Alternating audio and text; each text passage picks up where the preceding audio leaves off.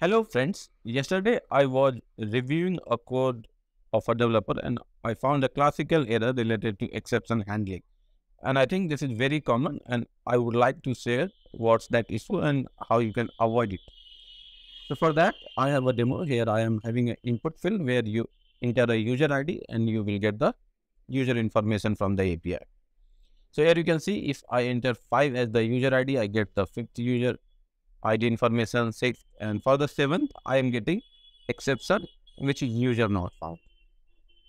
So in this case, you can see that uh, I am handling the error in catch, but like uh, still it is saying unhandled exception. So why this is happening?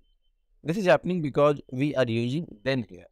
So whenever there is any future and you are trying to like resolve it using then, the try catch will not work. So you should remove it. Then how can we like do it? So for that we have a catch error.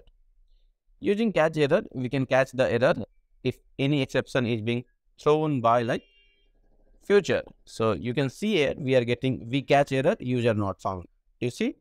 So now whenever this future will throw a error, it will be catch using catch error instead of try catch. But what if we wanted to catch using try catch? So for that there is a way. Let me show you. First let's undo the code.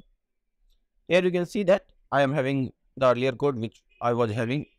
So instead of using then we will use await. So now I will write final value equals to await. So now in order to resolve this future, we are using await keyword there and it is waiting for the response.